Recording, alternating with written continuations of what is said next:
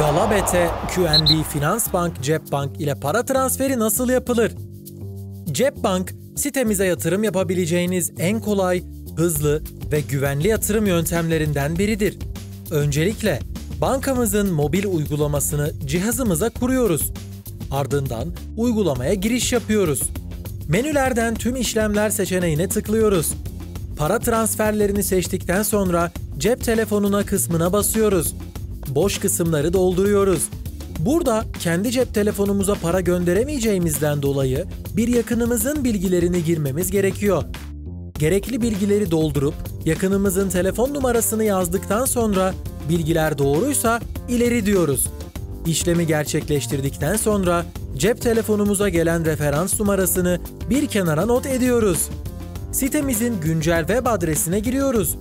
Üyelik bilgilerimizle giriş yaptıktan sonra üst kısımdan para yatırmaya basıyoruz.